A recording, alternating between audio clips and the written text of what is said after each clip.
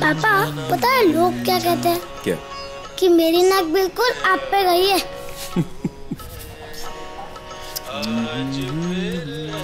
और मेरी आँखें आँखें भी बिल्कुल आप पे गई है।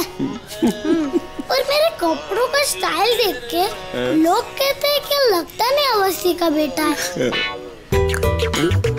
अपना स्टाइल बता रहा है इंडिया। बिग बाज़ार ब्यूटीफुल बन रहा है इंडिया।